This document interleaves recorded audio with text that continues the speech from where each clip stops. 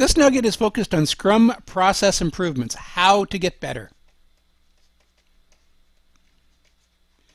And as we already discussed in the Scrum rituals themselves, the Scrum retrospective is the key to how to get better. But how to improve with Scrum? To me, the very first statement is there are very few rules, which means there's lots of room for innovation.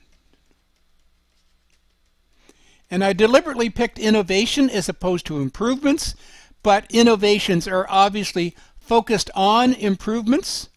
The reason, again, I specifically picked on innovations is it allows us to adopt, to adjust, to expand on the few rules that are in Scrum to allow us to introduce improvements for our organization. So the fact that there are few rules gives us a chance to absolutely make Scrum a very specific, focused practice for our organization. Other suggestions for Scrum process improvements, do it incrementally. Do uh, one or two Scrum processes, do one or two Agile processes, get really good at that, and then apply the next. Again, recognizing there are very few rules that we can be Scrum with a minimal or we can be Scrum with a full bore, implementation.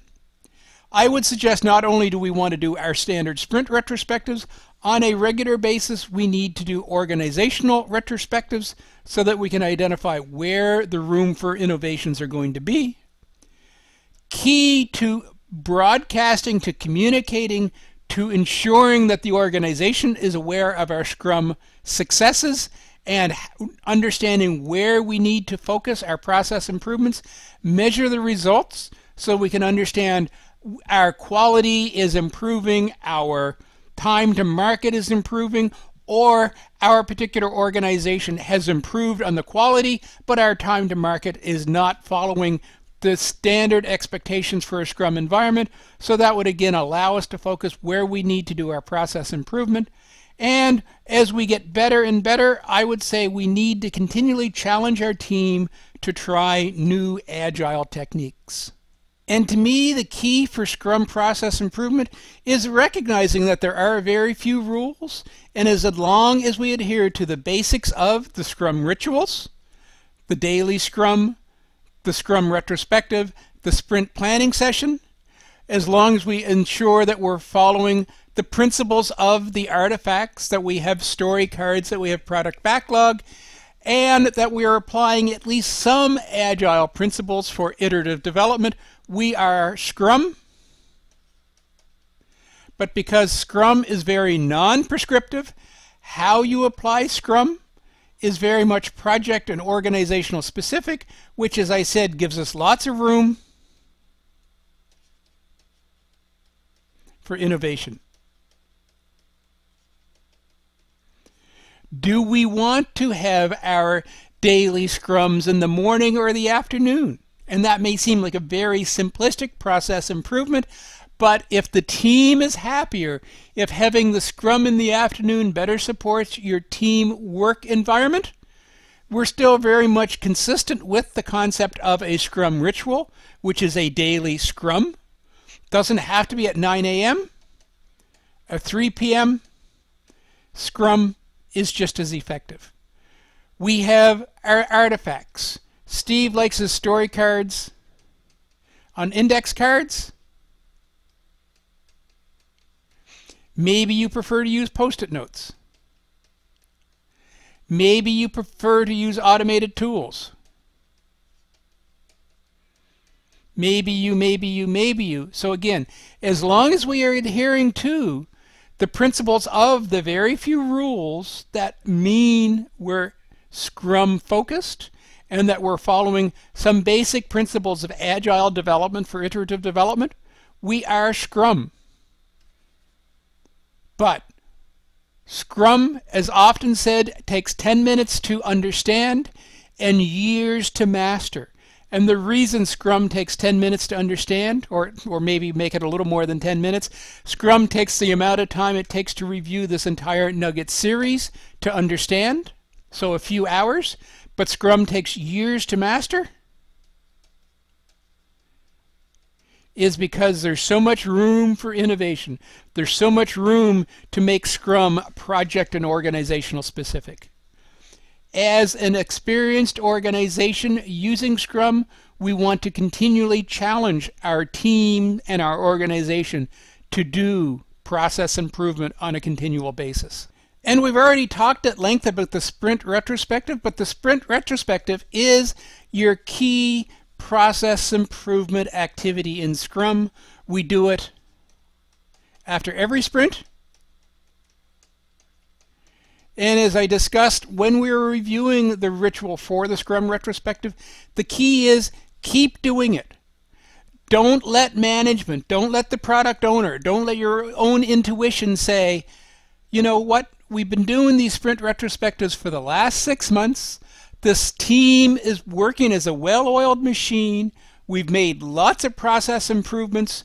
I think it's time to skip the sprint retrospective on every second sprint so we have more time to focus on stories or we can accelerate our sprint delivery schedule.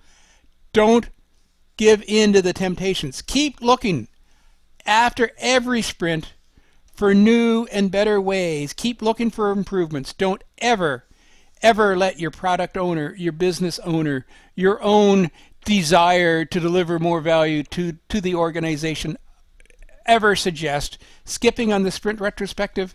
As I say, it is your key process improvement area, and please do keep doing it. And one of the reasons I encourage you to always apply your Scrum retrospective is it gives you the opportunity to apply Scrum incrementally. And as a result of applying Scrum incrementally, you're always doing continual process improvement. And because Scrum has so very few rules, find the Scrum principles that will work for your project for your organization. Maybe a daily sprint is going to be a challenge. Maybe a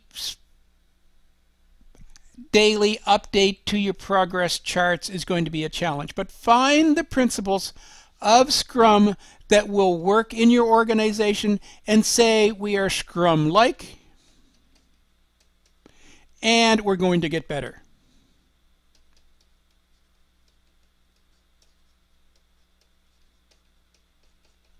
And with that dedication, that commitment to say we are Scrum like and we're going to get better, we'll pick the principles that work for us immediately and we'll fine tune them first. We'll get really, really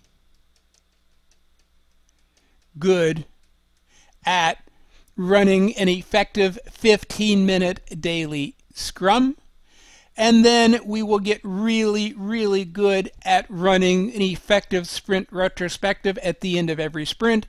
And then we'll get really, really, really good at part A of our sprint plan.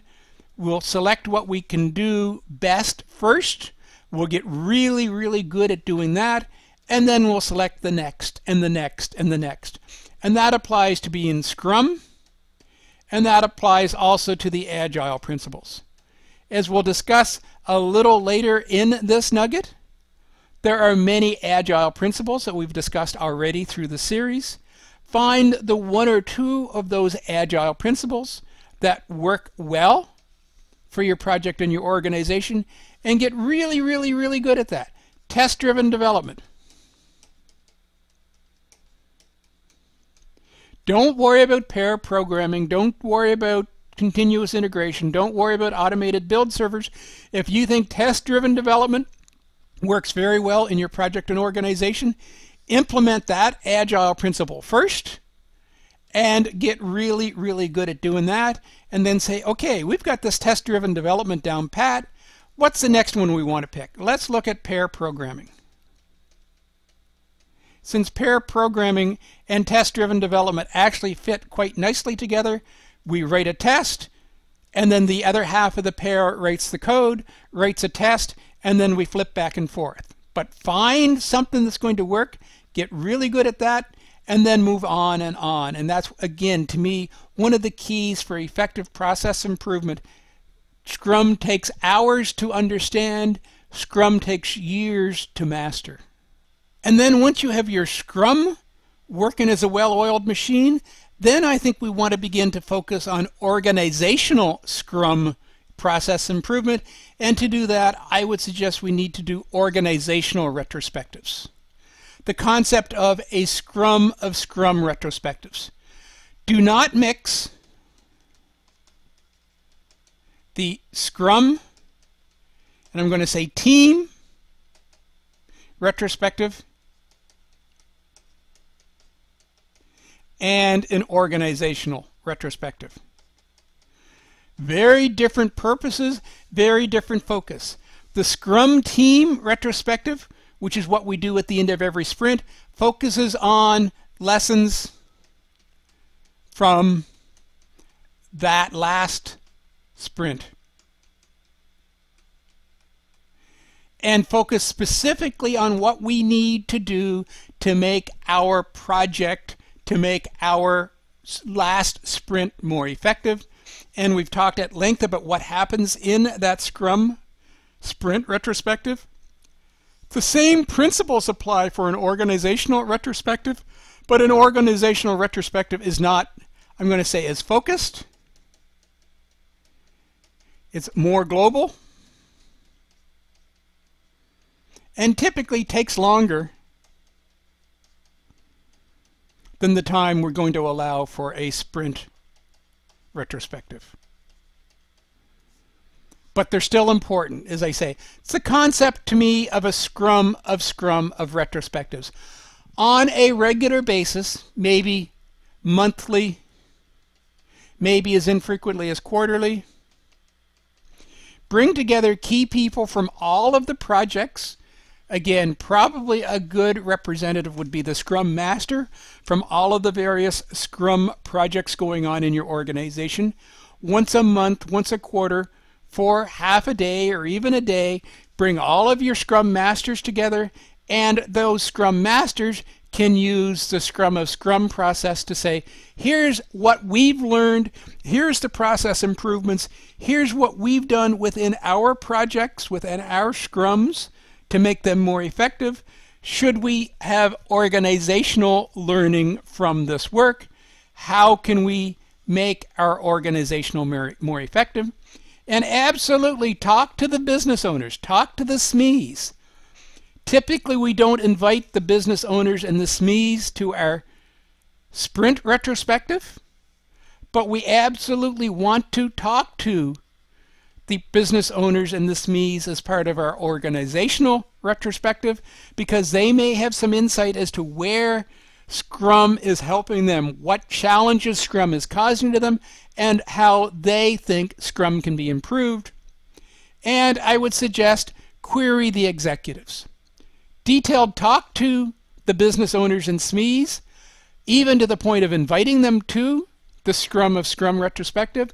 But if you're not going to invite them to the Scrum of Scrum retrospective, at least go out and talk to them and do a quick query of the executive. Say, overall, how happy are you with Scrum in the organization?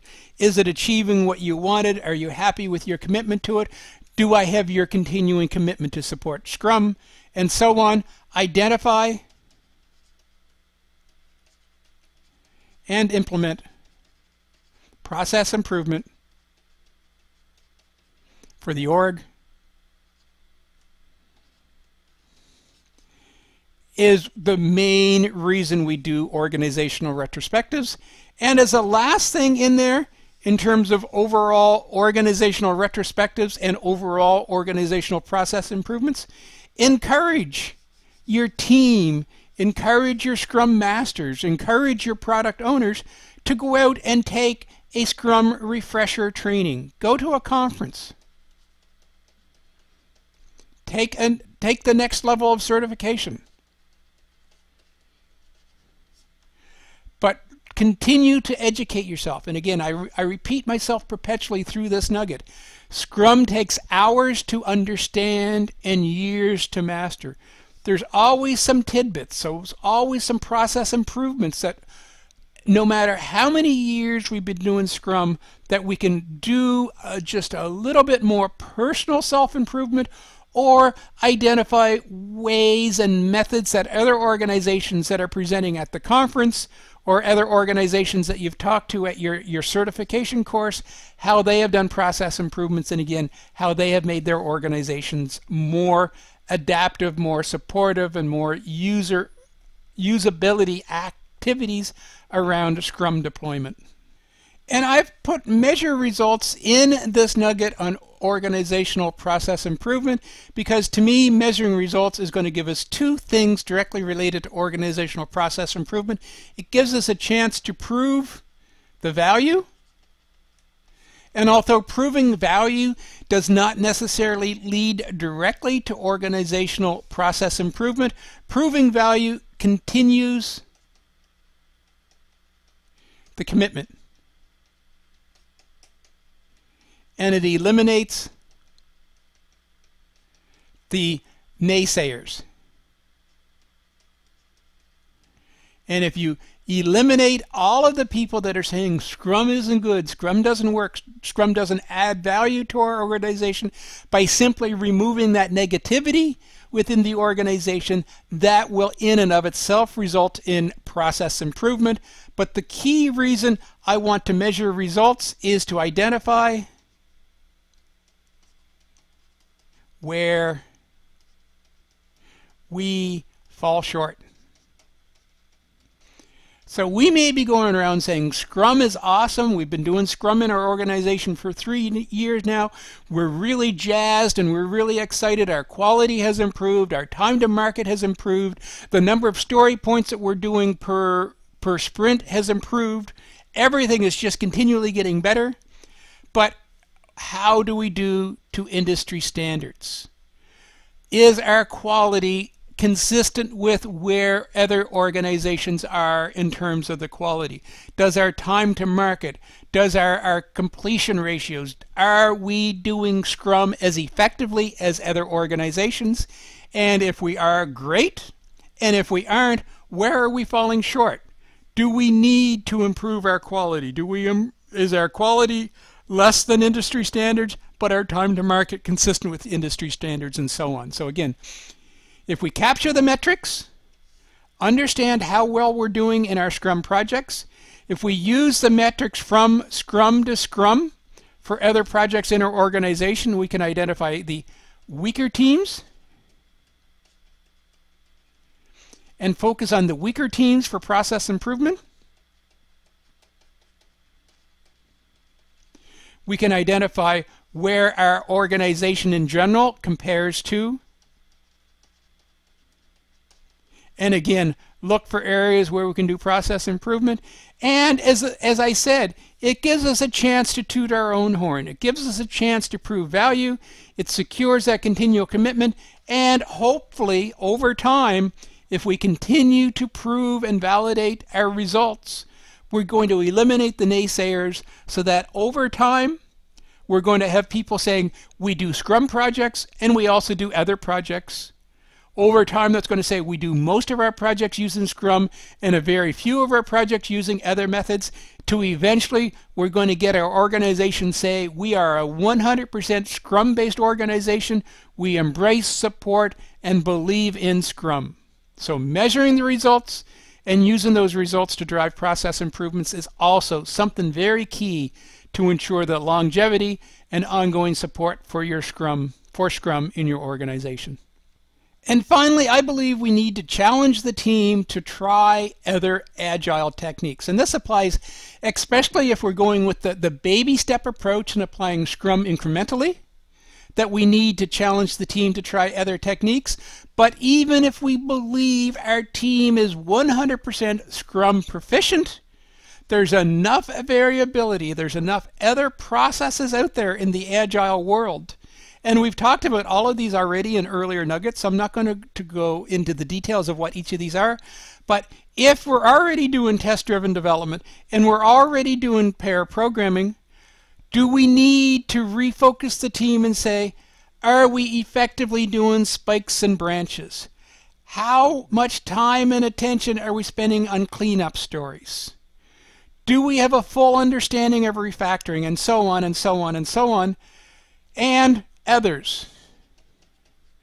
I've simply brought out in this Nugget series the most common of the Agile techniques that I would encourage you to review and understand and experiment with on your Scrum projects, but there are others. So again, if you think your team is a well-oiled, functional Scrum machine and your team is doing literally all of the above, and your team is doing all of the above effectively, go out there and do some more research on the web. Buy two or three more reference manuals on Scrum and Agile development and look for the really exotic agile principles. And I don't mean exotic in a in a negative sense, but look for the ones that are really for the elite. Look for the ones that absolutely stress and challenge your teams. And as we continually challenge the team to become more agile, to be more iterative, to become more incremental, again, the adaptation and adoption of and acceptance of Scrum in your organization is going to do nothing but improve and increase. This concludes our nugget on Scrum process improvements. As we've discussed in this nugget, there are very few rules, so it's easy to be Scrum. Or even what I suggested in this nugget, it's easy to be Scrum light, like to adopt one or two of the principles of Scrum and then get better at each. As I've said several times in this nugget, Scrum is easy to understand but takes years to master. How do we do Scrum process improvement? We stick to our sprint retrospective and we always always do it and we always strive to find process improvements at the end of every sprint we apply Scrum incrementally, we do a little bit, we get good at it, and then we pick something else. The next step. Once we have our individual teams and projects working as well-oiled Scrum machines, then we begin to focus on organizational process improvements and begin to do organizational retrospectives where we improve our overall organizational Scrum health. A focus of doing overall Scrum Health is continual education, refresh. We're never too old to learn new Scrum techniques. And I think it's key that we measure the results, that we prove success, and we measure projects over projects, not in terms of a competition, but in terms of identifying where some of our projects may have weaknesses so that we can do process improvement, and we measure our org against the industry to again understand where our organization may have weaknesses and where our organization can be improved based on industry standards. And we should continually challenge our team to adopt and apply new agile techniques. Once we've got the basics down, as discussed in this Nugget series, then we will look for the exotic and the elite and the very fine-tuned and professional-based agile techniques. But again, we should be always striving for process improvement to the point where everybody in the organization says we are a Scrum organization and every project we deliver is based on Scrum principles. And that's a significant step forward for any organization as opposed to the traditional that says we develop some of our projects using Scrum and some of our projects using standard process. Try Scrum and get very better at doing Scrum over the life of delivery in your organization. This concludes our nugget on Scrum process improvement. I hope this module has been informative for you, and thank you very much for viewing.